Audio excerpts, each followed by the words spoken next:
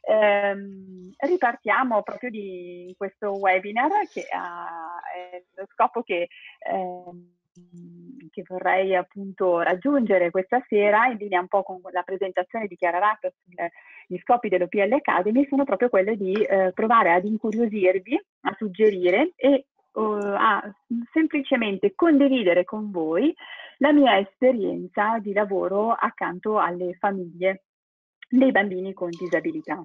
Mm? Eh, quindi partirei subito con una prima definizione, la definizione di disabilità nella Convenzione dell'ONU. La disabilità è il risultato dell'interazione tra persone con menomazioni e barriere comportamentali ed ambientali che impediscono la loro piena ed effettiva partecipazione alla società su base di uguaglianza con gli altri. Ecco, il concetto è proprio dell'interazione, troveremo sempre questa parola eh, nell'ambito, sempre abbiamo a che fare proprio di, eh, con delle interazioni tra eh, la menomazione fisica e la persona, tra la persona e l'ambiente, l'ambiente inteso come eh, fisico, l'ambiente inteso come relazionale, sociale e, e, culturale. E il principio dell'uguaglianza è quello che eh, viene sottolineato sicuramente in questa definizione che ci porta proprio a sottolineare anche la centralità del contesto, non solo del, eh, del disabile della persona, non è più solo un affare del disabile come era in precedenti, vecchie eh, definizioni, ma proprio un, ehm, un, dire, un tema del contesto. No? il contesto ci dice sempre la Convenzione dell'adattarsi ai bisogni delle persone disabili attraverso degli accomodamenti ragionevoli che possono essere delle modifiche, degli adattamenti necessari a garantire o a, mh, mm, promuovere comunque il funzionamento eh, della persona disabile sempre mantenendo un principio di uguaglianza. E quindi anche noi abbiamo, noi psicologi, un po' questo indicazione no, di fornire un accomodamento ragionevole, no? quindi anche alcune nostre eh, prassi, anche alcune nostre ehm, eh, diciamo così, tecniche che utilizziamo o teorie che abbiamo come riferimento avranno bisogno e necessità di accomodarsi ragionevolmente eh, senza perderne il contenuto centrale eh, in direzione proprio di favorire questa eh, uguaglianza e funzionamento eh, della persona disabile di cui ci occupiamo o della sua famiglia.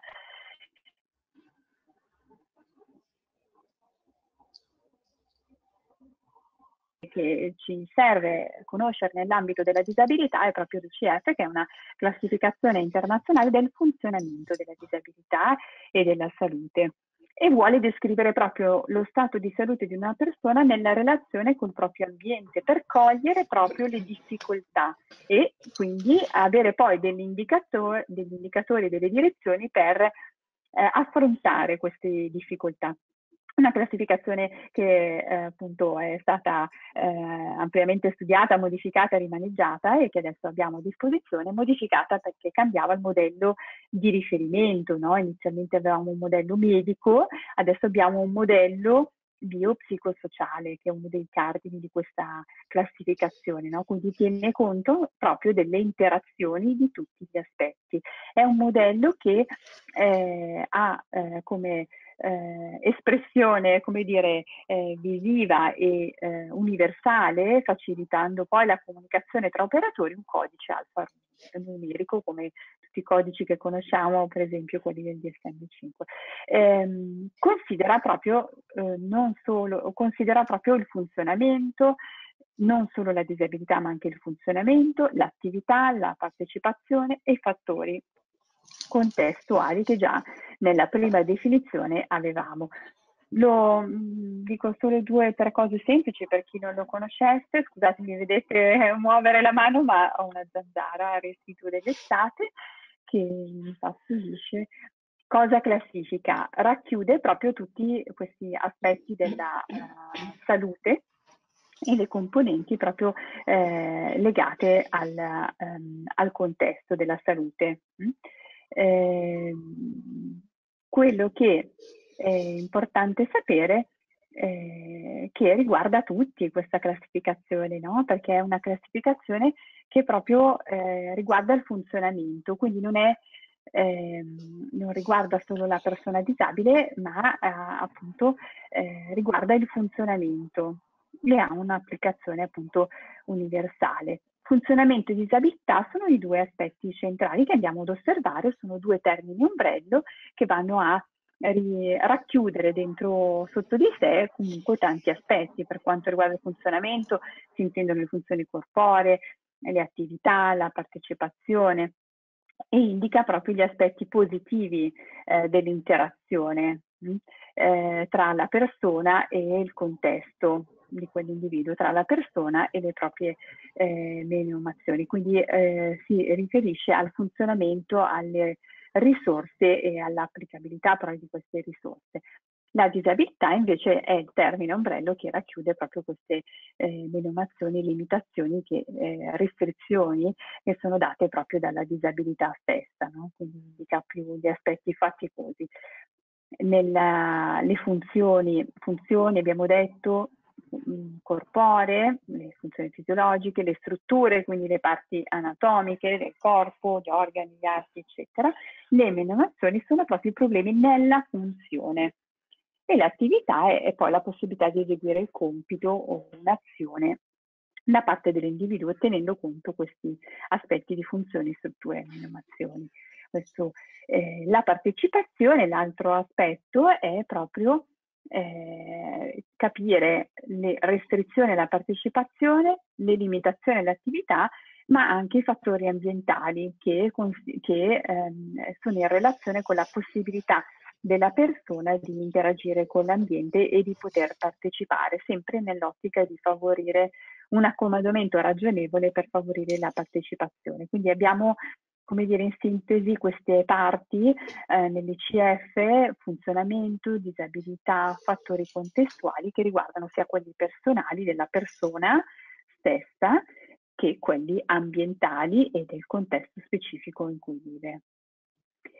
Se vogliamo dirla in termini semplici, il nostro corpo non funziona, il, non funziona bene, mi sento limitata nelle attività e trovo barriere. Quindi sono questi aspetti mm, che vanno poi a essere classificati e mm, ricondotti a questo sistema di classificazione. Perché ne parliamo eh, di eh, disabilità e di, di, psicologo accanto alla disabilità perché i numeri sono alti, anche se vogliamo pensare ad una eh, statistica, eh, il rapporto comunque di Stato del 2016 ci parla di 430.000 persone nella fascia da 0 a 44 anni e di più gli ultra 75 anni perché chiaramente ci sono condizioni di disabilità legate all'invecchiamento, però solo questi numeri ci indicano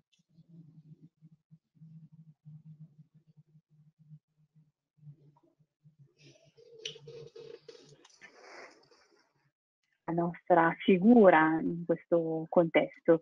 E c'è anche un dato significativo no, che le, i dati statici riportano, che sono quelli legati alle persone che si prendono cura eh, di persone disabili, no? che possono essere appunto mh, mm, in queste statistiche rientrano sia gli adulti, quindi persone che si prendono cura dei, degli adulti con una disabilità, ma anche di minori e anche qui sono tanti, quindi noi abbiamo proprio dei dati che ci indicano eh, dire, eh, la numerosità di questa popolazione, ma consideriamo anche la numerosità della popolazione sia in termini di eh, disabile, persona disabile che di persona caregiver che se ne prende cura. ok? E quindi dobbiamo anche qui, eh, volevo appunto darvi questi due aspetti numerici proprio per sottolineare un po' l'importanza anche di eh, provare a fare delle azioni e sempre and- andare nell'ottica di, eh, di, questo accomodamento ragionevole anche per quanto riguarda un po' nostra, il nostro ruolo e la nostra lavoro.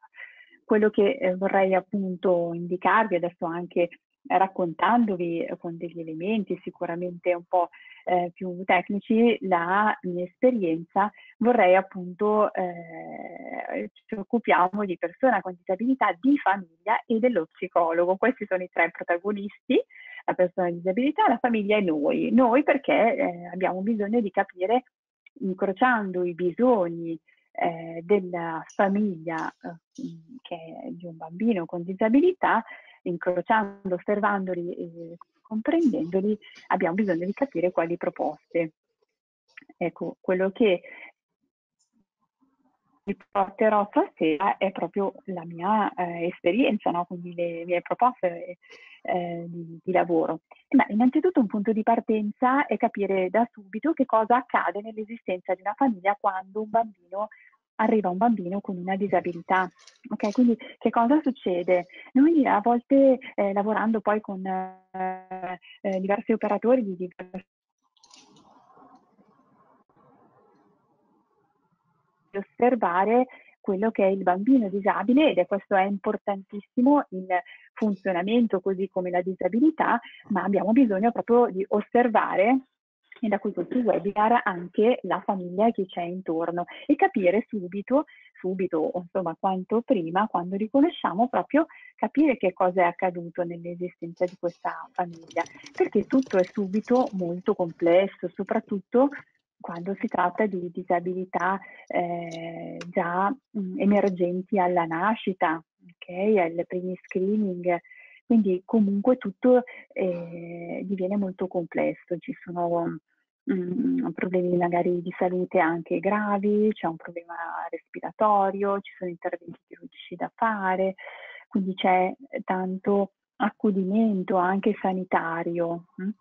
a volte che eh, presuppone proprio l'apprendimento rapido eh, dell'utilizzo di apparecchiature mediche anche, no? per aiutare subito il, il piccolo ehm, o per capire che cosa sta succedendo. Quindi tutto molto complesso. Io mi occupo di disabilità medio-gravi, eh, di genitori con famiglie di disabilità medio-gravi, per cui a volte davvero dalla nascita subito c'è questo. E poi proprio un altro concetto che comincia da subito a emergere, no? che se per un bambino, un figlio sano, l'autonomia cresce col crescere dell'età, questo è, inversamente proporzionale, eh, proporzionale per un ragazzo, un bambino che ha una disabilità, perché magari le richieste di accudimento aumentano anche eh, sotto il profilo sanitario, no? quindi capire l'accaduto è complesso anche per il genitore stesso.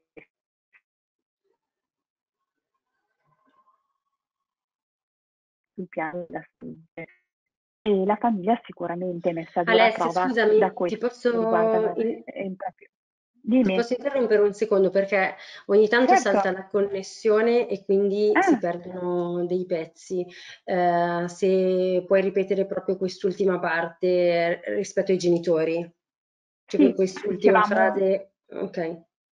Ok, dicevamo appunto che spesso i genitori si trovano eh, subito ad affrontare delle fatiche proprio di accudimento anche e delle scelte anche sotto il profilo sanitario, no? E da subito la famiglia è messa a dura prova no? in questa esperienza e è importante appunto considerare queste difficoltà, è importante considerare proprio l'impatto emotivo che eh, questa esperienza eh, ha sui genitori. Talvolta eh, mi senti, Sara? Sì, sì, sì, sì, sì, ok, sì, annuivo, ma giustamente tu non mi vedi.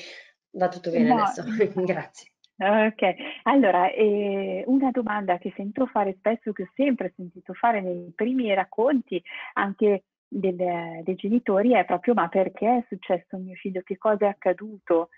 Perché è accaduto a me? Cosa, perché è nato così? Queste sono domande che magari viene da pensare che sono attive nella mente delle, delle persone all'inizio, quando nasce un bambino, quando capiamo subito che ci sono queste difficoltà, invece sono domande che il genitore può portarsi dentro per tanto tempo. mm? Non, solo, non sono domande che il genitore ha e si pone proprio solo nei primi eh, momenti o nel primo anno di vita, quando emerge una diagnosi, sono domande che eh, arrivano proprio e rimangono nel tempo, no? per cui capire anche la storia di come è andata il parto, quello che è successo, quali sono anche le, le, prime cose che sono state, si sono attivate, come ha vissuto, però proprio per renderci conto qual era il contesto della, dei genitori. Mh? Quando è accaduto, eh, quando è nato il bambino, no? proprio per capire anche poi mh, mm, che cosa vuol dire no? Fare, porsi per un genitore queste domande. ci sono diverse implicazioni emotive che il genitore eh, sperimenta diverse emozioni intense. Io ne ho indicate qualcuna eh, che sono diciamo le principali, l'ansia, eh, perché da subito no? la disabilità, la diagnosi fa subito attivare eh, non solo la paura, ma proprio l'ansia no? la prece- rispetto alla percezione futura, come farò, eh, ci sono tante incertezze, eh, come, mm, eh, cosa faremo, cosa, eh, come starà, cosa bisognerà fare, quali sono gli strumenti, quali informazioni, quali prognosi, ok? Perché spesso le informazioni non sono nemmeno complete all'inizio, perché magari alcune diagnosi possono essere un po' faticose e. La rabbia, la rabbia che può essere verso l'esterno, sappiamo che quando non capiamo qualcosa, una delle nostre reazioni può essere quella di arrabbiarci con qualcosa di esterno, anche se non è la causa diretta, no? quindi eh, rabbia verso il mondo, verso le figure mediche specifiche che vengono vissute a volte come eh, intrusive, a volte come eh, di sostegno, ma eh, a volte proprio come eh, coautori, no? proprio cioè nella, nella ricerca di senso può essere proprio anche questo tema, questa emozione di rabbia molto intensa, piuttosto che la tristezza, quindi questo ambito, tristezza e disperazione, perché ehm, la, la, nascita può implicare eh, di un figlio disabile, può implicare un pochettino anche una sorta di lutto rispetto all'ideale eh, di bambino che uno normalmente, che giustamente anche durante la gravidanza si costruisce, no? eh, e poi il senso di colpa.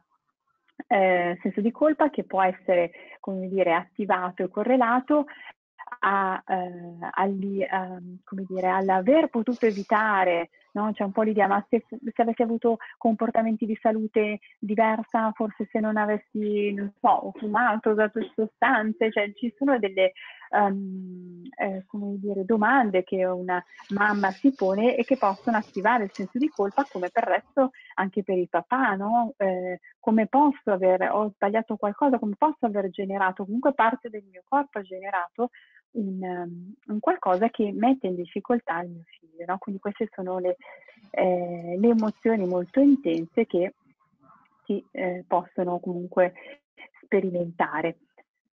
Eh,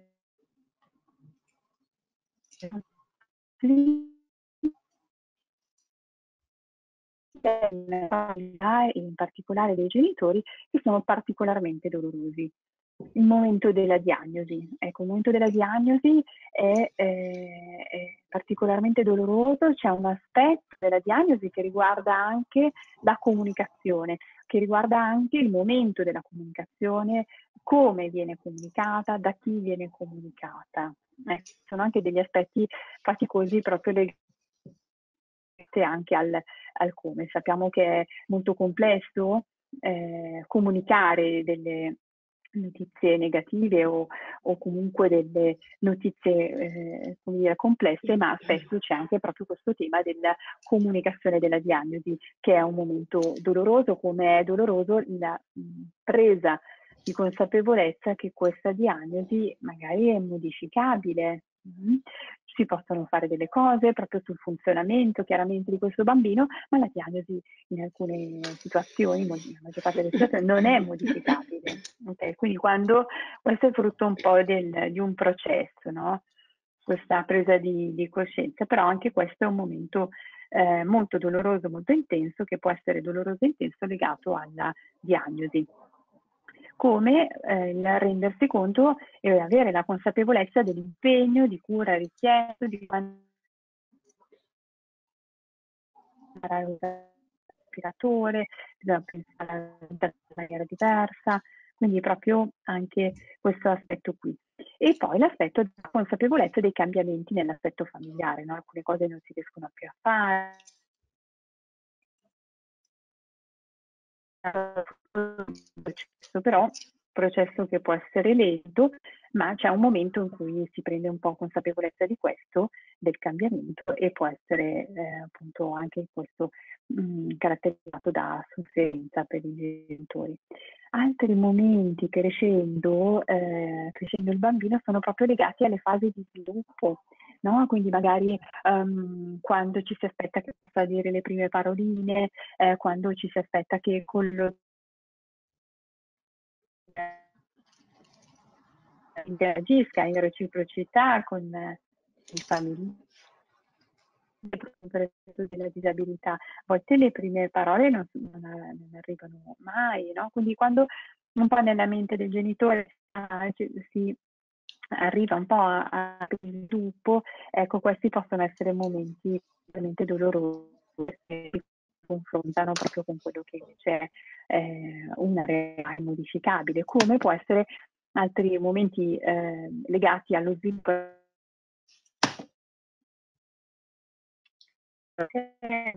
si inizia l'infanzia, a sei anni la primaria, però molto quindi eh, è l'elemento di eh, passaggio e di difficoltà.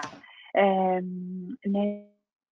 nella degenza continuo dove lavoro, dove ci sono ospitati dei bambini appunto fino ai 18 anni con disabilità medio gravi, all'interno di questa degenza eh, prese- è presente la scuola, la scuola del, pubblica del, del provveditorato ha all'inter- all'interno proprio la, le classi. E questo, eh, anche questa, lo vediamo no, quando arrivano i genitori, i bambini, dei bambini nuovi, proprio questo approccio di eh, non va alla scuola come di, eh, pubblica. Allora.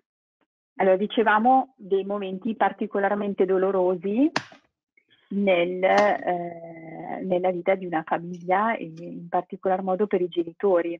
Dicevamo diversi sono, possono essere i momenti per quanto riguarda lo sviluppo e la crescita, no? quindi ehm, alcuni step che sono tipici di un bambino, le prime parole, i primi passi, ehm, eh, imparare a stare in piedi, non sono cose immediate scontate per i bambini con disabilità, a volte non arrivano mai le prime parole, piuttosto che il passaggio alla scuola. Come dicevo, non so se mi avete sentito, spero di non annoiarvi ripetendolo, nella degenza eh, di un ciclo continuo dove lavoro, all'interno di questa degenza c'è anche la scuola con delle classi eh, distaccate appunto del, dell'istituto comprensivo proprio all'interno. No? Quindi anche eh, rendersi conto per un genitore che il proprio bambino va nelle classi speciali al di fuori addirittura dell'ufficio scolastico, ma in un'altra struttura che è una struttura riabilitativa, può essere un passaggio eh, delicato. Alcuni fanno proprio fatica ad arrivare a questa decisione proprio perché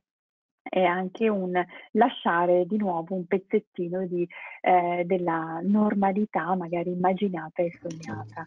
Eh, altri momenti che riguardano lo sviluppo e la crescita possono essere legati a, alla possibilità di fare sport, attività ricreative, ci sono, ci sono sempre in un, questo accomodamento ragionevole ci sono delle possibilità, però è chiaro che è tutto più complesso e questo anche può essere un motivo di eh, confronto con un, eh, con, soffere- con, la sofferenza per il genitore, piuttosto che eh, con la pubertà pensare alla vita affettiva, alla sessualità dei bambini disabili, dei ragazzi disabili, anche questo, eh, questa scoperta, questo passaggio di crescita della pubertà, ecco, può mettere mh, mm, in crisi nuovamente il genitore.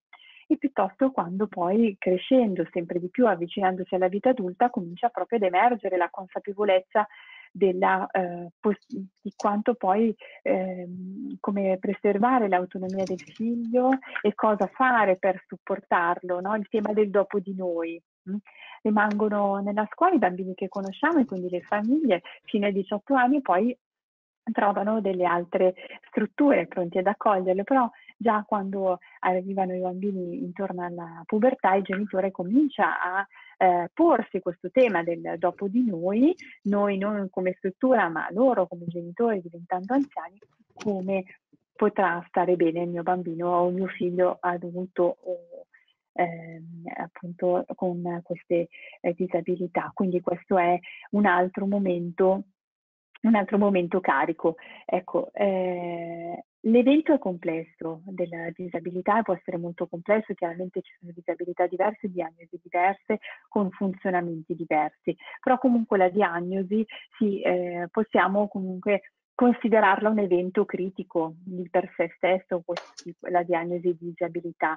È come se proprio eh, nella definizione di, di, di, di, evento traumatico abbiamo proprio un evento inaspettato, critico, che ha a che fare eh, sicuramente con con emozioni molto forti come, eh, come dicevamo, no? Quindi eh, e con queste emozioni molto forti che eh, la famiglia si approccia a noi, no? cercando di eh, capire l'accaduto, come dicevamo, perché, ma capire anche l'accaduto vuol dire quali sono le caratteristiche, le limitazioni, i miglioramenti, i progetti possibili, che cosa si può fare e poi poter partecipare alle tappe di crescita, ok? Quindi anche se ci sono in mezzo tra la relazione tra il genitore e il bambino, ci sono in mezzo degli operatori, delle apparecchiature sanitarie, come fare, vogliono partecipare, come fare a partecipare a costruire una relazione, anche se ci sono delle eh, altre persone implicate in questa relazione. A volte possiamo avere invece una reazione di stacco e di delega, proprio di distanziamento, ancora una volta magari per una fatica emotiva di distanziamento emotivo da quello che eh, che succede e quindi un po' la tendenza a delegare alcuni aspetti, processi eh, di accudimento eh, del bambino anche proprio al riabilitatore e alla eh, lettura. No? Quindi la complessità è eh, tanta della cura di questi bambini e, e spesso abbiamo appunto come dicevamo eh, questa tendenza all'evitamento e qua cito appunto eh, una persona volevo solo fare senza pensare, senza sentire, no? Cioè, con tutte queste complessità anche a volte nella salute e nell'accudimento sanitario è facile poi mh, concentrarsi proprio sulle cose da fare, no? operative no? Con, per il bambino, che sono importanti, no? ma c'è anche l'aspetto di relazione. Mh? che è da preservare, a volte c'è questa fatica per il genitore, proprio per le emozioni intense che prova quindi il nostro compito è anche magari aiutarli, guidarli e sostenerli in questa eh, reazio, eh, relazione hm? E eh, proprio nella direzione di aiutarli a mm, eh, elaborare e affrontare questo eh, evento critico. Quindi eh, l'approccio è anche un po' quello di vedere la disabilità come un evento critico o anche come un evento critico, traumatico, stressante, possiamo usare questi aggettivi a seconda dell'intensità, però proprio mh, mm, eh, dando poi l'indicazione, l'indicazione gli strumenti per eh, affrontarlo eh, qualsiasi situazione che porta le persone a provare reazioni emotive particolarmente forti, questa è una citazione che vi ho indicato una definizione, tanto da interferire in maniera importante. No? Quindi eh, questo è, rientra un po' nelle definizioni anche la disabilità di evento critico e traumatico, anche se pensiamo alle definizioni di trauma di Leotti Farina che considerano anche questi aspetti relazionali. Quindi abbiamo un processo che può essere lungo, capire l'accaduto, accettazione, che non è un processo passivo, adattamento per un equilibrio, raggiungere un nuovo equilibrio rispetto a questo evento critico c'è una fase di aggiustamento, la famiglia si pone delle domande, come abbiamo detto, sull'equilibrio ed è una fase dove la famiglia rimane stabile nella sua struttura, nei suoi modelli di interazione, nelle sue abitudini. No? Questa modalità è chiaro che non può essere sufficiente e non può eh, durare nel tempo, no? è una eh, modalità che eh, porta per forza a una, a una crisi, a una difficoltà per passare poi a quella che è il vero e proprio adattamento, no? dove davvero si può rim- mantenere eh, la stabilità familiare, mm, con, eh, ma costruendo dei nuovi equilibri no? che portano a nuove risorse, nuove abilità di competenze, nuove strategie di coping. Hm?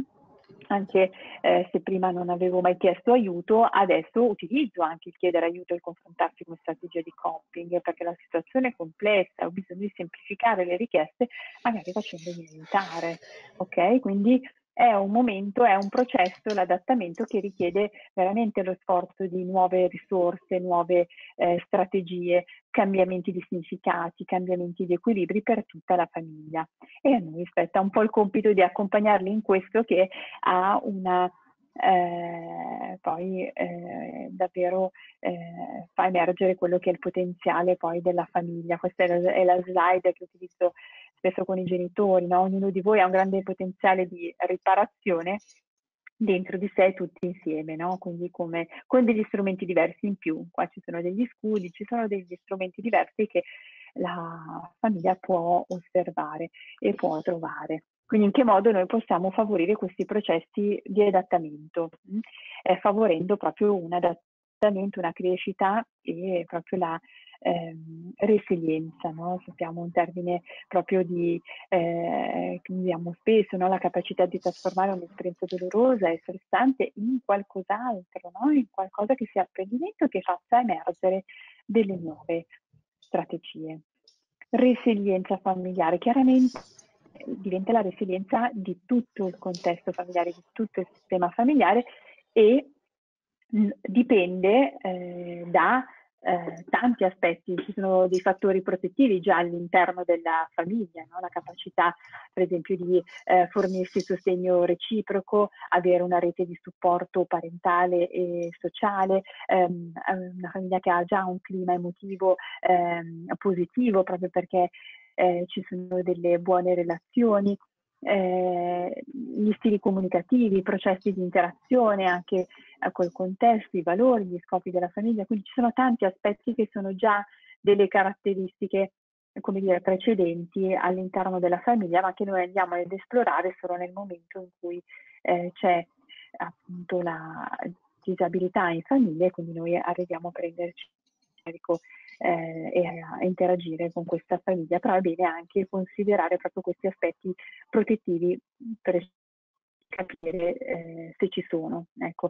Eh, parliamo di crescita, parliamo di adattamento, possiamo parlare anche di crescita post-traumatica, se vogliamo dire, considerare la disabilità e in modo particolare spesso l'esperienza della diagnosi di disabilità come un'esperienza critica e traumatica, possiamo parlare anche di crescita post-traumatica, individuando questa come un processo che porta sicuramente a un cambiamento nella percezione di sé, eh, perché cambiano anche aspetti di eh, consapevolezza di come ci definiamo avendo superato, dopo aver superato o comunque affrontando, stando affrontando un evento molto difficile. Possono cambiare aspetti di filosofia di vita, si cambiano nuovi scopi, spesso i genitori dicono di aver cambiato poi le priorità nelle cose? Come spesso è accaduto, eh, accaduto anche a, a, a molti di noi no? nell'emergenza della pandemia, comunque ritrovarsi a riflettere su alcuni scopi e priorità e valori di vita e modificare anche alcune priorità. Quindi anche questo è un cambiamento e un segno di crescita post-traumatica. Come possono modificarsi le relazioni interpersonali si può percepire una maggiore vicinanza emotiva, una maggiore empatia, una maggiore capacità anche di esprimersi nella relazione con gli altri, di accogliere l'aiuto, di accettare l'aiuto e anche ehm, a propria volta di incoraggiare l'altro. Eh, altri aspetti della crescita post-traumatica, perlomeno quali strategie di coping da questa meta-analisi eh, individuiamo, eh, particolarmente importanti, influenti sui processi di crescita post-traumatica, il sostegno sociale, quindi l'apertura all'altro, una visione, eh, una riformulazione positiva delle cose, degli eventi, mm, non solo di quell'evento, ma di tutti, eh, da, in generale degli eventi. E poi anche questo aspetto di spiritualità che aiuta ad attribuire senso che spesso noi lo accogliamo come esperienza del genitore ed è una cosa che loro portano. Questo è il centro dove, dove lavoro e, e, questo è il progetto. Vado a illustrarvi perché abbiamo perso un po', eh, abbiamo avuto queste difficoltà tecniche ma eh, recuperiamo, ma non voglio neanche tardare, farvi tardare, quindi vado a eh, raccontare quella che è l'esperienza e questa, eh, questa realtà. I bambini sono da noi da 0 a 18 anni, sono eh, eh, tra i 40 e 50 bambini, c'è un'equipe educativa e riabilitativa, quindi lavoriamo in un'ottica di multidisciplinarietà dobbiamo lavorare in ottica di multidisciplinarità quando le situazioni sono complesse, quindi abbiamo logopedisti, educatori, eh, fisioterapisti, psicomotricisti, eh, e poi è stato inserito anche appunto lo psicologo e che interagiscono queste equip riabilitative con l'equipe scolastica, quindi con le insegnanti. Notando i bisogni della famiglia, eh, si è poi stato inserito anche proprio il servizio psicologico, che inizialmente era proprio un servizio dedicato al, ehm, dedicato proprio al singolo genitore. Eh, ed è partito come avvio di supporto psicologico individuale. Eh, prima dell'avvio del supporto un'altra eh, eh attività eh, che veniva fatta oltre alla riabilitazione era proprio delle attività di animazione. No? Io le ho messe un po' in elenco così come fosse la, la, la storia ehm, appunto di questa, di questa esperienza, quindi anche attività di animazione e esperienza di mini vacanze proprio perché era necessario proprio eh, anche eh, e richiesta la possibilità da parte dei genitori di condividere e stare insieme. Dall'esperienza di supporto individuale si è passati poi a un supporto di gruppo con i genitori e si è passati poi a individuare altri soggetti, quindi il genitore che può accedere a un supporto eh, per sé individualmente o come coppia di genitori, può essere una richiesta di supporto psicologica sulla gestione eh, emotiva di quello, che, eh, di quello, che, gli succede, eh, sulla narrativa di quello che è successo, o ci può essere anche una richiesta eh, di supporto legato proprio agli aspetti psicoeducativi e educativi nella relazione con il bambino? Mm? gli aspetti pedagogici che normalmente incontriamo no? tra genitore eh, bambino. Gruppi di genitori, altra azione, altro diciamo così, soggetto visto nell'insieme e gruppi di fratelli, ok? Perché quando nasce un bambino eh, disabile in una famiglia con altri bambini ci sono anche dei fratelli che hanno eh, una relazione e che hanno anche loro il loro percorso di eh, adattamento alla situazione. Quindi la nostra sequenza temporale è stata questa, prima il supporto psicologico individuale per i genitori, i gruppi MDR, e adesso tra poco vi spiego, eh, per genitori e, e, i gruppi con i fratelli, quindi un successivo step del nostro progetto previsto anche questo, Abbiamo mantenuto i gruppi MDR per i genitori, abbiamo creato altri gruppi di condivisione per altri genitori che avevano magari già fatto un percorso MDR e mantenuto i gruppi fratelli e eh, implementato anche le attività di festa ricreative aggregative con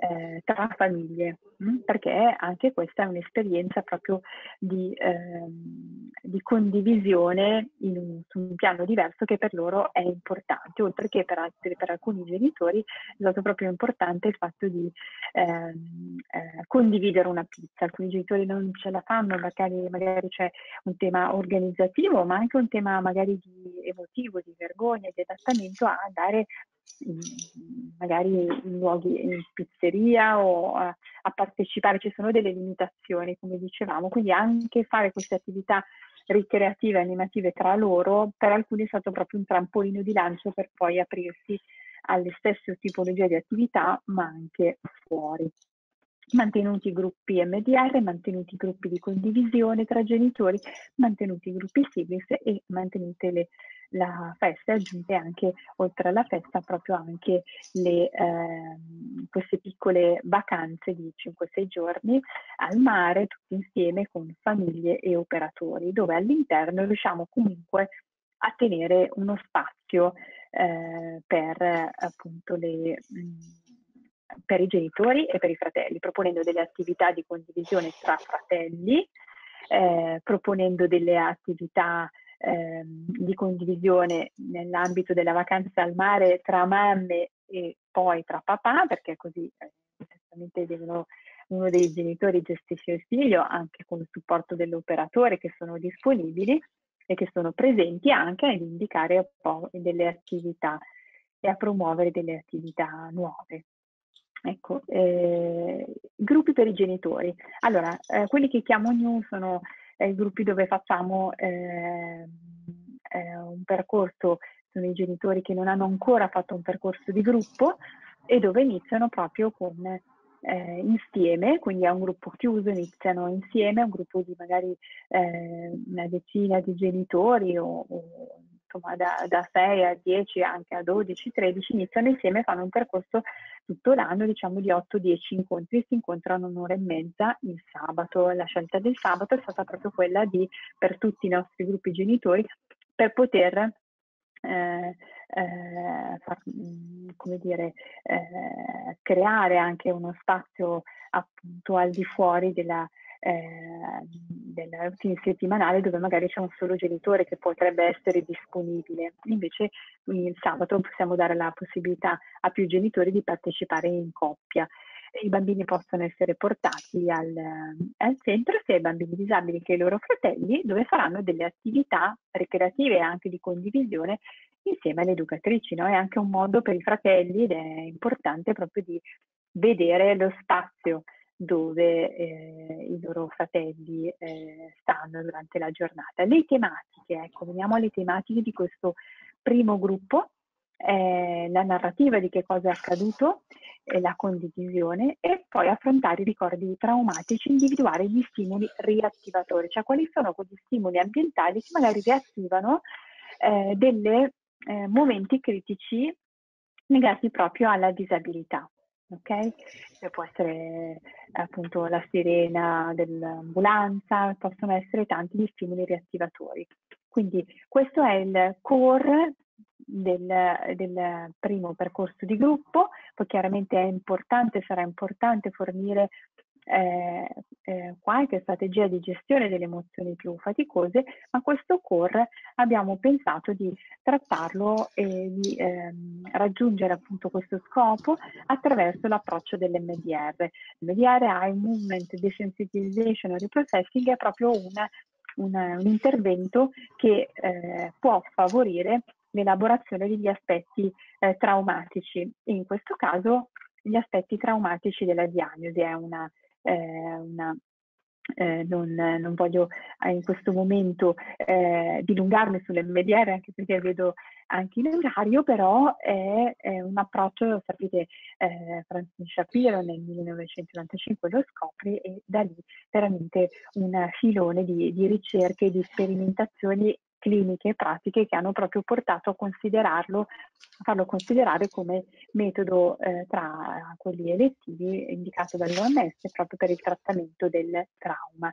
Quindi abbiamo pensato di utilizzarlo proprio per questo obiettivo in gruppo, quindi naturalmente in gruppo ci sono degli accorgimenti da, da tenere, però proprio quello di eh, eh, proprio eh, attraverso proprio questa metodica la, vogliamo eh, favorire l'elaborazione delle esperienze traumatiche, quindi eh, le emozioni negative che ancora oggi sono magari collegate a quello che è stata l'esperienza traumatica. Non possiamo, ci sono tanti aspetti appunto personali, soggettivi dell'esperienza eh, di, diagnosi, di, diagnosi e comunque di disabilità nel genitore, quindi è un gruppo dove si fanno delle cose insieme, c'è una cornice di riferimento, c'è degli strumenti che si utilizzano che sono per tutti, ma è un po' come se ciascuno facesse il proprio pezzetto di elaborazione individuale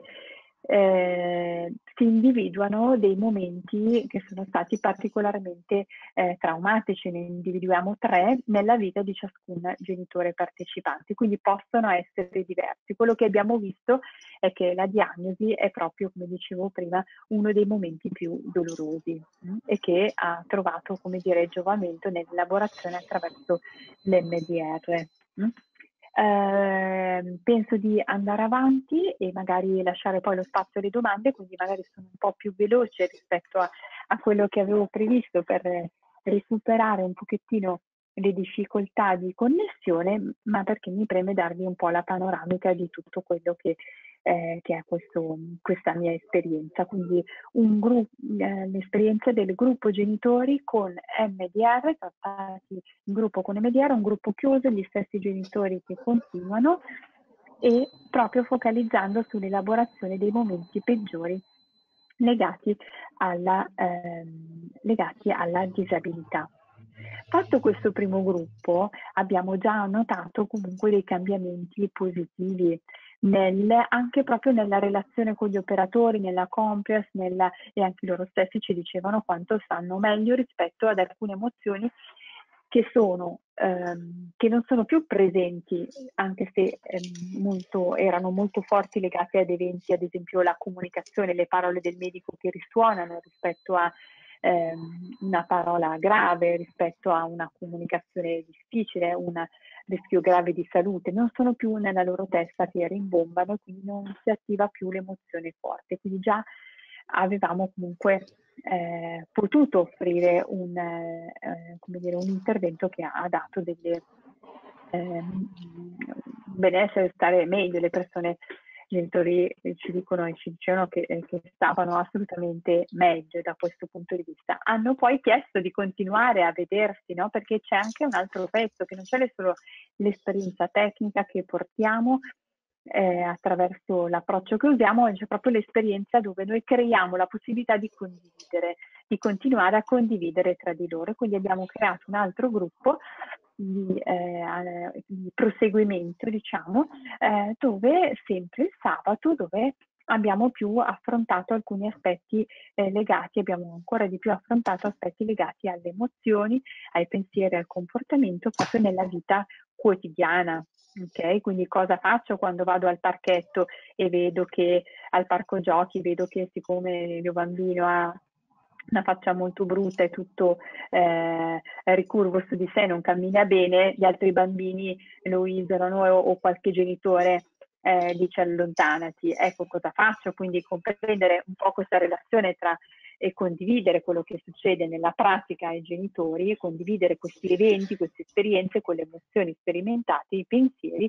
e provare a, ehm, come dire, a fornire dei suggerimenti che mettano in relazione questi aspetti e che propongono una eh, gestione eh, più efficace eh, di, di queste situazioni pratiche quotidiane che spesso si trovano ad affrontare quindi la gestione proprio delle emozioni che, che arrivano nella quotidianità e poi proprio porre l'accento sull'imparare a occuparsi di sé coltivando anche il proprio benessere, no? Quindi non è eh, eh, si può eh, organizzarsi per uscire a bere un caffè con un'amica. Ecco, a volte veramente i genitori fanno fatica proprio ad occuparsi di sé e hanno proprio solo c'è la parte eh, di sacrificio molto attiva, chiaramente, però hanno bisogno proprio di ricaricarsi. Quindi il gruppo è servito anche, questo gruppo di prosecuzione, per sottolineare questi aspetti, magari eh, proponendo degli esercizi di mindfulness, di rilassamento, anche proprio delle, ehm, delle attività di questo tipo. Ehm, ci sono stati degli spunti della, dell'ACT, Acceptance and Commitment ehm, training che ho, utilizzato in questo gruppo proprio perché è importante mh, eh, sia la, l'accettazione come nella definizione nell'acronimo e l'impegno.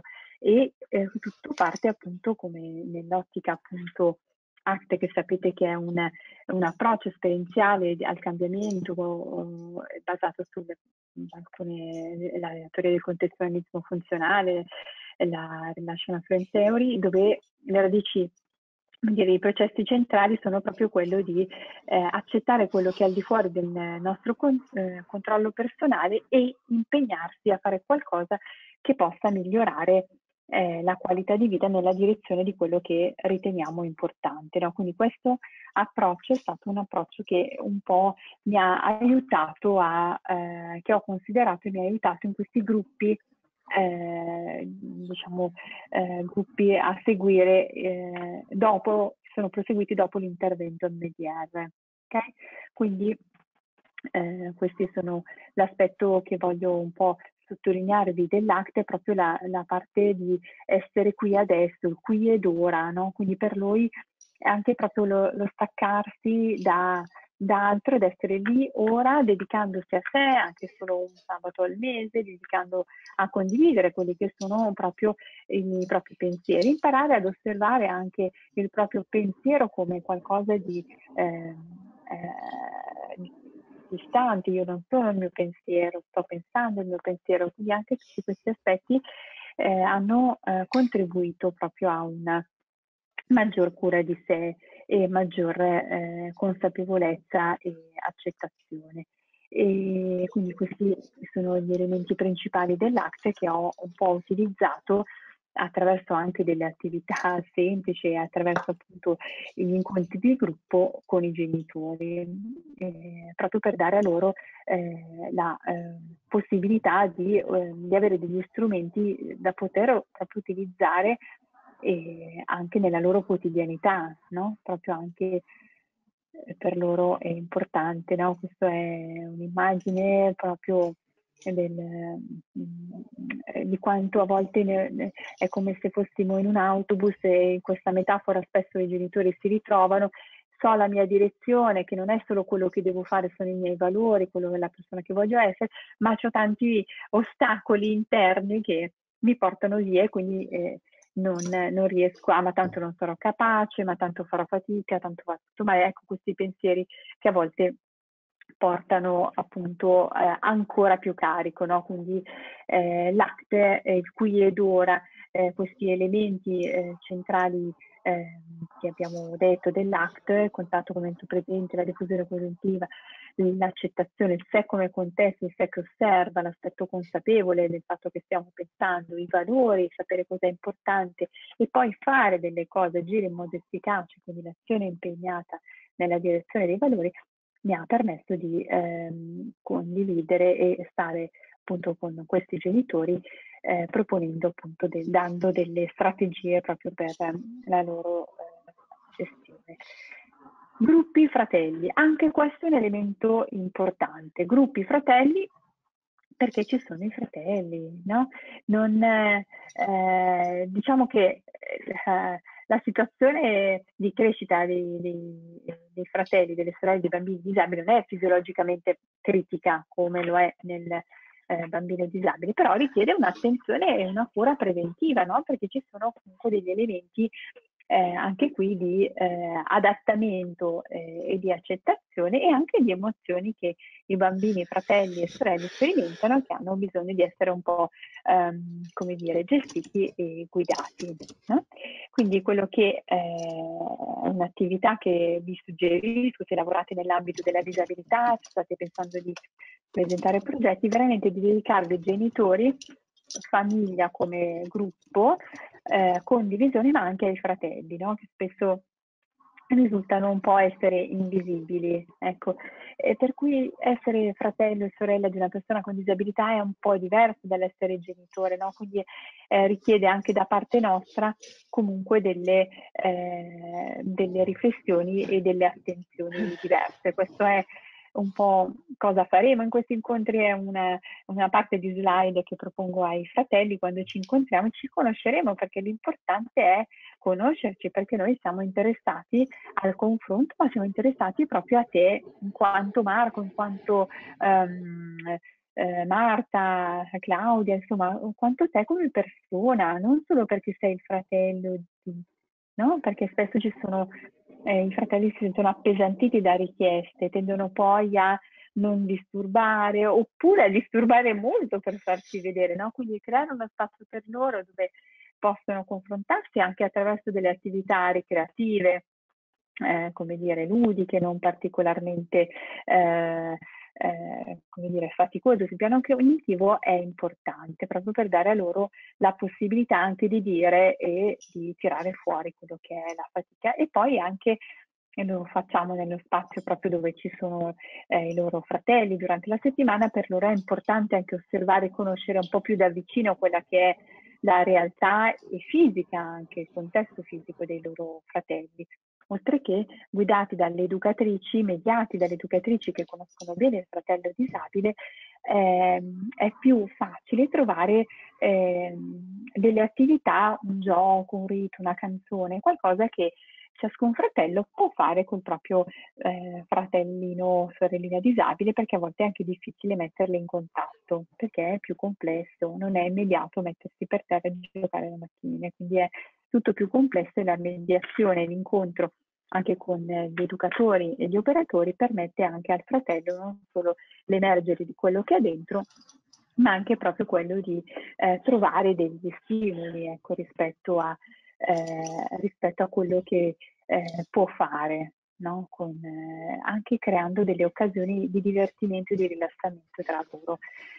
Ecco, un grande team eh, fa tante risorse, no? quindi una situazione complessa come può essere quella della disabilità, come può essere quella del bambino disabile, appunto fa, ehm, fa appunto, ha bisogno di, un, eh, di, un, di, tante cose, ha bisogno di eh, un grande eh, team e questo può mettere in campo molte risorse. Il team, al centro c'è il bambino, ma dobbiamo considerare tutti tutti i soggetti, no? quindi abbiamo i fratelli, la scuola, la scuola dei fratelli, i genitori, eh, la comunità, il contesto, gli operatori, tutti abbiamo comunque un ruolo importante e noi spesso la figura dello psicologo eh, spesso fa un po' da collante e da mediatore e aiuta un po' a mettere insieme tutte queste risorse insieme no? ed è fondamentale, questo permette alla famiglia di essere accolta nella totalità e permette al genitore di sentirsi accolto nel, in tutti gli aspetti, anche eh, se parliamo della scuola del fratellino piuttosto che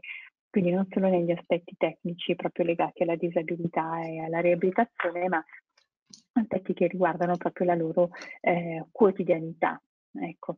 Eh, allora io mi fermerei qui Ok. Perché siamo già alle 10 e un quarto, quindi eh, lasciamo, come dire, mi rendo conto di aver dato più una panoramica magari generale su queste ehm, attività che si possono proporre e lascio lo spazio per le domande in modo da potervi dare delle indicazioni più mirate rispetto a quello che più vi interessa.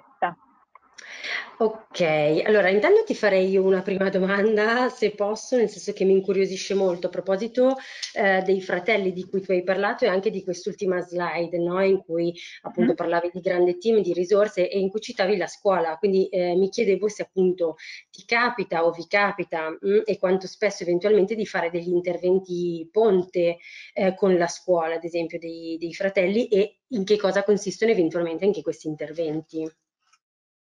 Eh, sì, perché magari si capita, capita sì perché il, uno del, degli aspetti appunto del, eh, che il fratello, la sorella del bambino disabile eh, deve affrontare è, è, proprio anche nella sua quotidianità in classe quando gli, gli chiedono di descrivere, ah ma i fratelli e sorelle che classe fanno? E magari si trovano già nella fatica di spiegare che ehm, sì, fa la quarta, eh, ma non, come mai non viene nella tua scuola? Come mai non c'è nella classe accanto? Ah, ma allora tornate insieme, non lo vedo mai.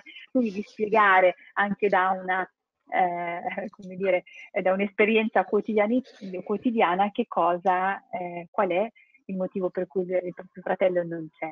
No? Quindi ecco, questo a volte questo vuol dire dare eh, un suggerimento anche eh, attraverso appunto un genitore anche alla scuola. Bene, abbiamo questo bambino di seconda che ci fa questa domanda, che fa questa domanda al proprio genitore, il proprio genitore la fa l'operatore che eh, sta con il fratellino disabile. Bene, allora possiamo, sì, come dicevi tu, creare un ponte tra questo, no? Quindi arrivare, non siamo noi che andiamo magari direttamente a scuola, non c'è bisogno sempre magari dell'esperto, ma possiamo dare degli strumenti o dei suggerimenti, no? Anche e mettere in rete il genitore con, eh, con l'insegnante mettendo in campo degli strumenti eh, comuni. No? A volte abbiamo usato, proposto delle storie magari erano storie che abbiamo usato anche noi nel gruppo, sì, nel gruppo Fratelli, no? per riflettere, parlare, dare là per condividere delle emozioni no? tra i fratelli e quindi il bambino per esempio in classe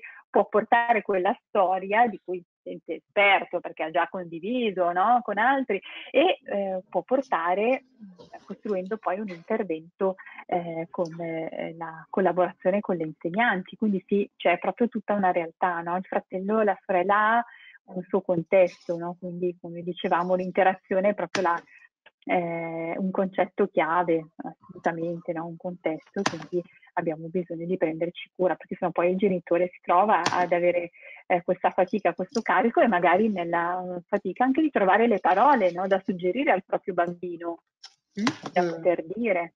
ok? Oppure già è complesso magari spostarsi, gli spostamenti ehm, con un bambino disabile che magari è in sedia a rotelle o comunque è, è, movimentato, è agitato, no? sono difficili, no? quindi pensate a, a andare alla festa di, di fine anno i genitori entrambi vogliono andare alla festa di fine anno del eh, fratellino sano, ma portandosi anche proprio tutta la famiglia, no? E quindi, eh, come dire, eh, ci sono dei processi, delle preparazioni, ecco, per, per, arrivare anche a questo, quindi sì, sono possibili questi interventi ponte.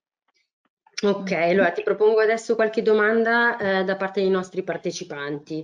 Eh, una prima domanda ehm, riguarda eh, le tecniche di mindfulness, nel senso che eh, ti chiedono se tecniche di mindfulness potrebbero essere funzionali alla presa di consapevolezza da parte dei genitori della situazione della nuova vita con il figlio disabile.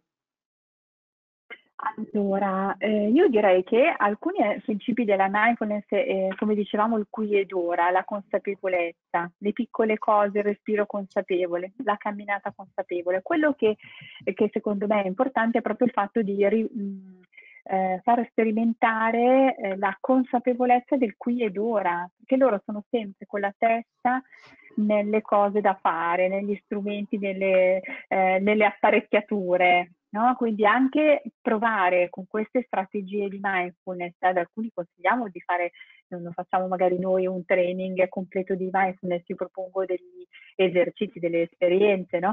però proponiamo anche di intraprenderlo proprio perché eh, crea questa possibilità di accorgersi di quello che succede, no? delle sensazioni di quello che succede, perché ehm, queste sono anche eh, esperienze di, eh, come dire, eh, proprio di, anche di benessere. No? Ah, il mindfulness è anche un aspetto che ci dà la possibilità di avere un benessere, ok? Quindi sono eh, quindi non tanto, eh, come dire, non è magari per tutti perché alcuni, eh, alcuni genitori gradiscono e, e, seguono su questi tipi di proposte, altri fanno un po' più fatica, hanno bisogno di cose un po' più mh, mm, di, dire, legate al ragionamento perché hanno una modalità diversa, quindi sta anche un po' la nostra flessibilità, quella di, di capire che cosa proporre.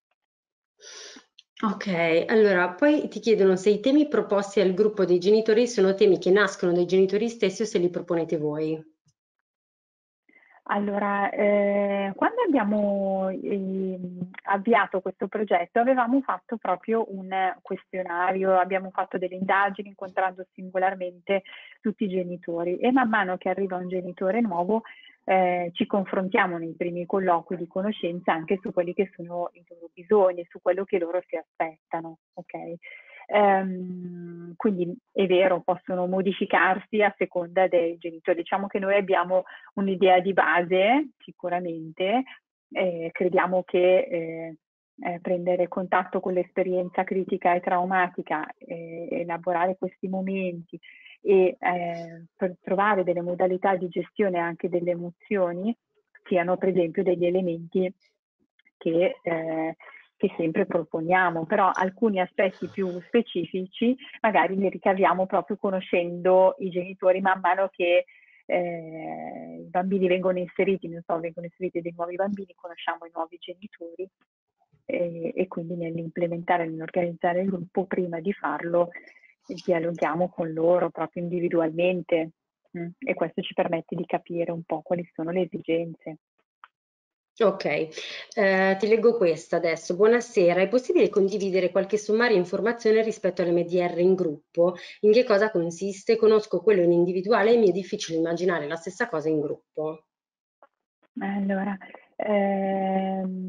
L'MDR sappiamo che ha una parte, come dire, detto semplicemente di parola, di, non usiamo solo la parola, ma usiamo anche dei movimenti, che è questa stimolazione bilaterale. Individualmente si utilizza eh, spesso, eh, diciamo, quella, la prima studiata emersa la stimolazione visiva di, attraverso il movimento oculare.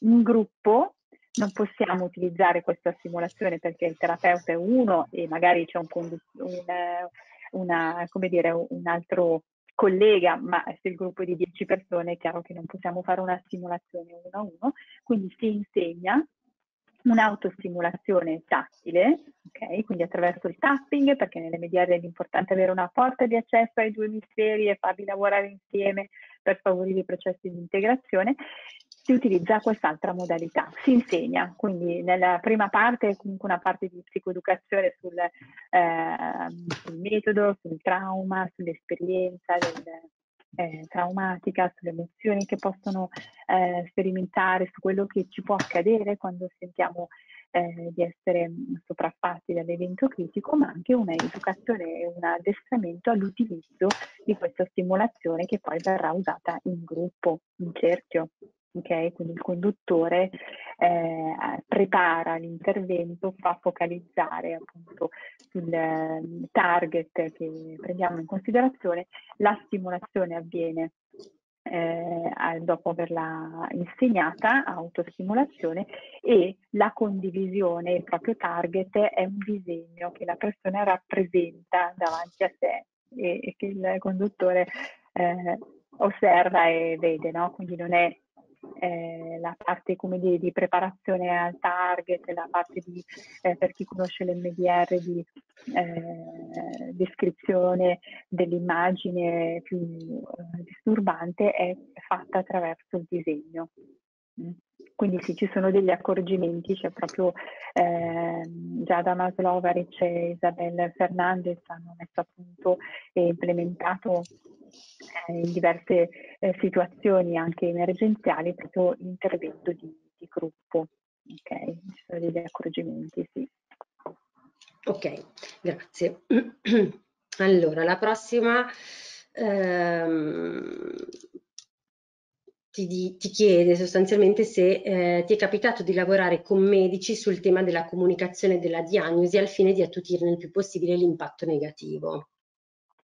Mm. No, mi piacerebbe tanto perché è proprio la cosa che sento di più, che sento mm. spesso, legata alla diagnosi. Io stata, eh, non ho magari dettagliato con degli esempi, però davvero ci sono tante esperienze che, come dire, a volte dico l'esperienza critica sul trauma, l'esperienza critica sul già critico perché è sicuramente complicato dare eh, delle notizie di questo tipo, no? però spesso, spesso sì, lo, lo, affronto con il genitore, lo sento, accolgo, vedo, ma mh, mm, non ho ancora, come dire, trovato il canale per poter fare questa cosa. No? So che in molti, no, magari non tantissimi, però in molti eh, ospedali magari si fa già qualcosa, anche lo psicologo per proprio aiutare a semplicemente proprio dare delle indicazioni rispetto al comunicare, ci sono delle linee guida no, sul comunicare le brutte notizie ed è importante. Mm. Però sì. Ok, allora ti leggo la prossima. Buonasera. La disabilità che non si vede, ovvero quando il soggetto sembra come gli altri, tra virgolette, normodotato, ma non lo è, ad esempio alcuni autistici, malattie metaboliche, mm. l'approccio terapeutico è diverso? Eh, l'approccio terapeutico col, col genitore? Mm, no, nel senso che magari cambiano eh, col genitore o con i fratelli, magari cambiano le situazioni che loro portano come situazioni sollecitanti eh, ma, ehm, eh, ma, l'approccio è lo stesso. Alcuni genitori fanno più fatica eh, a, ehm, ad accettare alcuni aspetti della disabilità quando il bambino è eh, dire, la collega citava un bambino autistico, magari non, non ha menomazioni fisiche, sta in piedi, sta seduto, eh, se è in un momento di calma, magari non dice niente, è bello, è carino, eccetera. Quindi questo può per alcuni genitori essere più faticoso, no? E magari eh, eh, più faticoso nel lasciare andare quella parte lì che non può fare, no? Quindi, ma cavolo, eh, gli insegno a leggere, può parlare, perché lo vedo così, può parlare, no? Magari è più difficile lasciare andare queste idee, eh, eh, queste aspettative eh, di, ehm, come dire, di normalità perché il bambino assomiglia un po' più alla normalità. Ecco, questo sì, sento, vedo eh, in alcuni genitori questa fatica, in altri no, è una risorsa. No, in altri è da subito una risorsa e non, non, um, non implica eh, processi diversi nel, nel, supporto, altri invece lo, lo portano. Mm. Ok, allora, ehm, spesso i genitori mi chiedono se e come spiegare la diagnosi ai loro bambini, spesso autismo ad alto funzionamento. Esiste un'età più adatta per farlo? Avrebbe da consigliare dei libri sul tema? Uh, dunque, um, esiste un'età uh, adatta? Um, io direi un po' come cioè, direi il prima possibile, quando come dire, il bambino può capire delle cose, glielo spieghiamo il prima possibile, quindi anche intorno ai due anni e mezzo si possono dire delle cose no? che magari sono legate più al concreto, no? quindi che cosa può fare e che cosa non può fare il fratellino, però cominciare sicuramente il prima possibile a ehm, fornire eh, spiegazioni e dare eh, proprio questo, questo, concetto di eh, diversità, di faccio le cose in maniera diversa, alcuni le fanno, alcuni no, mio fratello non le fa, io le posso fare. No? Quindi accompagnandolo poi questa comunicazione, questa ehm, come dire, eh, si accompagna poi nel tempo aggiungendo parole, aggiungendo significati in linea con quelle che sono le capacità cognitive del bambino che mano a mano cresce e si sviluppa ecco, nel fratello. Quindi è una comunicazione che non è eh, statica, ma è un processo sempre in movimento a seconda dell'età e, e c'è sempre qualcosa da, da, aggiungere perché ci sono poi anche sempre delle esperienze di confronto che il bambino fa all'esterno, okay? quindi comincia anche a farsi una propria idea.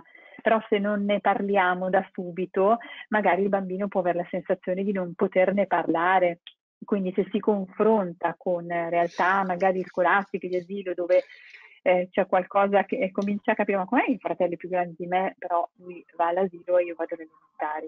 Lui fa una cosa che è una specie d'asilo, ci sono i materiali della scuola materna, ma io faccio, ecco, se non lo prepariamo, tutte queste domande o, o sensazioni o emozioni, il bambino può pensare di tenersele che non se ne possono parlare, no? o non vogliono disturbare il genitore, o non vogliono sovraccaricarlo perché già c'è tanti pensieri, già tanto da fare.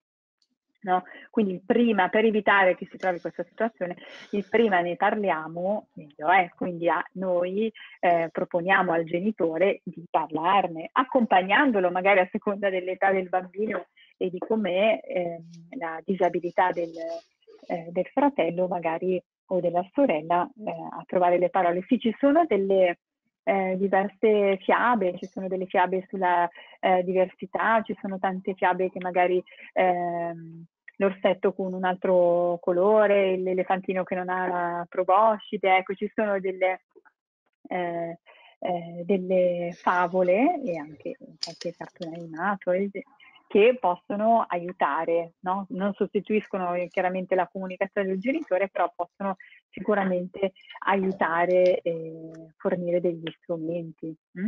Eh, poi adesso vedo che anche su eh, ci sono tanti anche mh, mm, libri eh, anche per i più grandicelli, no? Mm, eh, ehm, eh, libri di persone, di fratelli che raccontano la loro storia. Eh?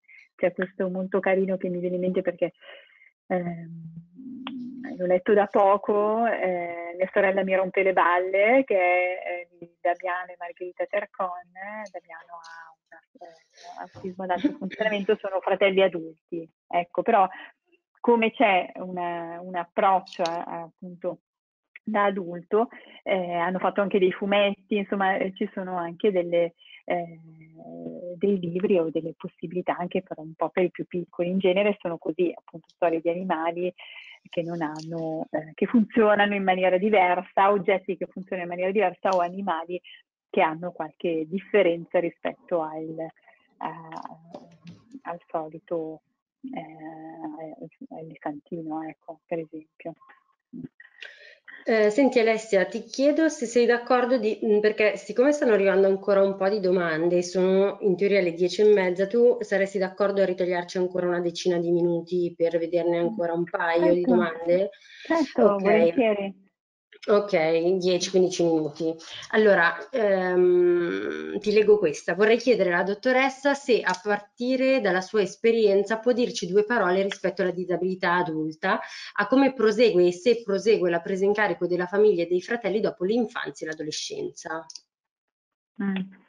Eh, questo è un, un tema complicato, nel senso che eh, poi abbiamo sempre un po' di fatica no? nel tenere collegati i servizi, no? per cui eh, il nostro è all'interno di una neuropsichiatria infantile, dopo i 18 e, e qua bisogna spostarsi. No? Lo stesso è, è, con la disabilità, quindi eh, diciamo che eh, sì, si può, eh, sicuramente ha senso eh, proseguire l'intervento o cioè, ha senso la nostra figura, ehm, è chiaro che è una chiave diversa a seconda proprio della caratteristica di disabilità.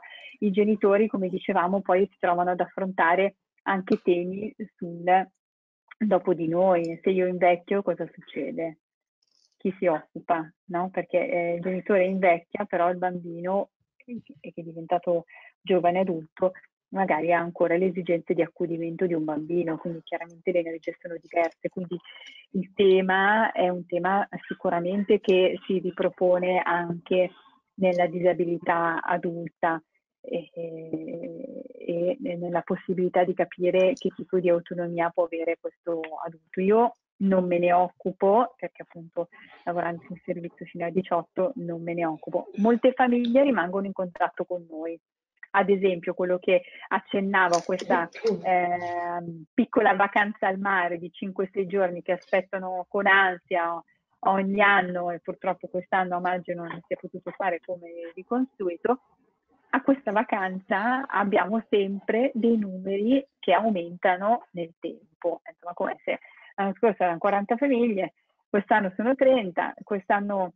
sono 30 quelle, ma ce ne sono altre, come mai aumentano, aumentano? No? i numeri sono sempre quelli, dovrai, semmai dovrebbero diminuire, non tutti vengono, è una scelta, perché ci sono le famiglie dei bambini, degli adulti, dei, diventati adulti che non si, non si frequentano più, sono in altri, in altri centri che continuano, che continuano, a chiedere di venire almeno a quel momento di condivisione. Questo per dare un'idea che il, la, la, il senso di appartenenza è, è importante, è, il senso di la possibilità di condividere è importante. Io faccio appunto questa vacanza il gruppo mamme la, sulla spiaggia.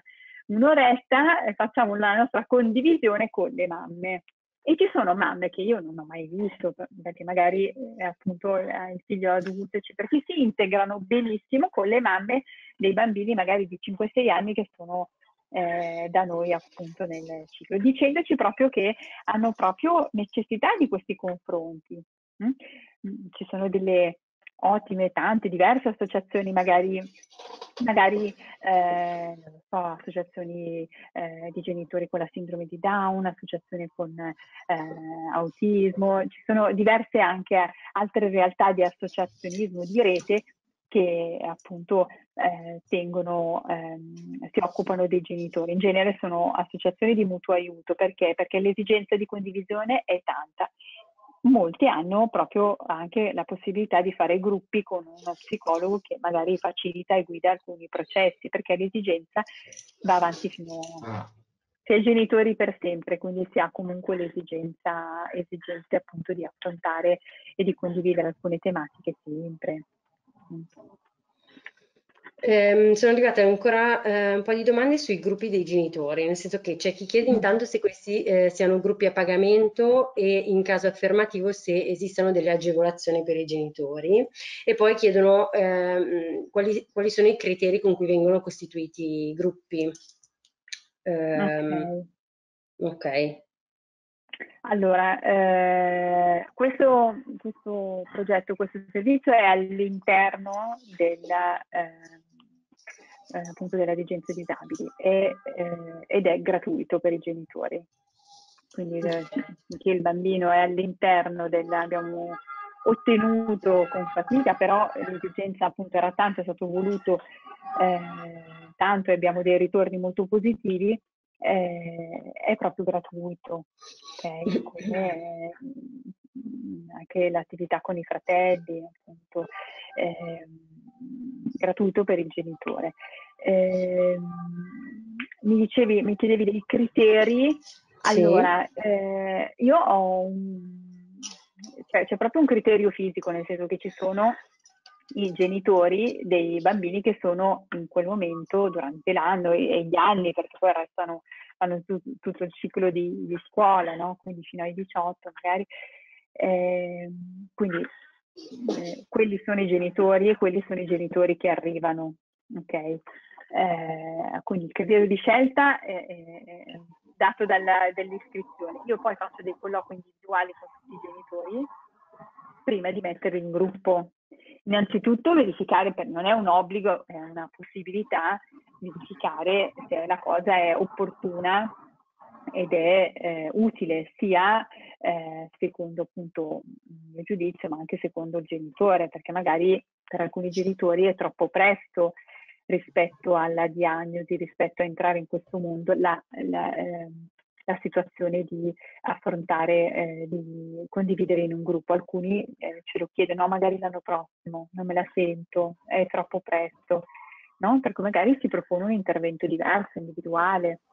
Ok, quindi eh, cerco un pochino di, di, capire appunto qual è l'esigenza eh, della, del genitore e qual è l'intervento uh, più utile. Quando in alcuni momenti dove avevo più eh, soprattutto quando siamo partiti, per cui comunque avevamo, eh, siamo partiti con 39 genitori, quindi non poteva essere un gruppo unico, quindi eh, abbiamo fatto tre gruppi e, e lì eh, nel, eh, come dire, nella, nella scelta, nei colloqui individuali mi hanno anche permesso di, dire, eh, condiv- suddividerli nei gruppi, ecco, in base un po' anche alle, anche le possibilità di, di, relazioni che si possono creare. Ecco. Non, non c'era un, però un criterio legato alla caratteristica o alla diagnosi di disabilità specifica. Non, è, non c'era omogeneità rispetto a questo o rispetto all'età. Ok. Ti ringrazio. Allora, ehm, è arrivata una domanda, temo che il tempo a disposizione non sia più sufficiente, però ehm, potremmo utilizzarlo come spunto per un prossimo mm. webinar in cui potremmo invitarti, perché ehm, questa collega ehm, scriveva sarei interessata ad ascoltare un caso complesso nella sua esperienza di disabilità e come è stato gestito eh, con la famiglia, qual è il ruolo dello psicologo, come ci si comporta. Quindi eh, avendo noi ancora direi 5 minuti al massimo, non so se eh, puoi, puoi, rispondere, però eh, altrimenti utilizziamo questo come spunto per invitarti di nuovo e magari dare un taglio diverso. Magari dare un taglio diverso. Sì, allora, mh, mm, veramente in pochi minuti è difficile. Sicuramente i casi complessi nella complessità ci sono stati eh, a volte, eh, come dire, eh, si, si, sono messe in campo più, più risorse, no? Quindi comunque ehm, eh, ci sono anche delle situazioni difficili che capitano oltre alla disabilità. No? C'è eh, il genitore che viene a mancare, eh, ci siamo trovati, eh, la, uno dei genitori viene a mancare, per cui ci sono delle complessità nelle complessità, quindi l'intervento è un intervento che va oltre eh, la parte di, legata alle esperienze di disabilità, ma ci sono anche altre cose, piuttosto che c'è il disabile che ha mm, magari lieve, quindi che ha un livello cognitivo che ci permette di interagire e parla, che deve affrontare un intervento chirurgico, no? E quindi magari c'è magari la parte di preparazione all'intervento, per esempio, ok?